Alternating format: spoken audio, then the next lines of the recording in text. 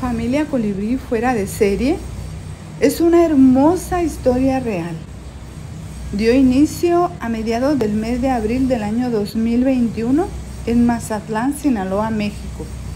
Sus principales protagonistas son Mamá Colibrí Esmeralda, Papá Colibrí Canelo, Chiquito y Chiquita.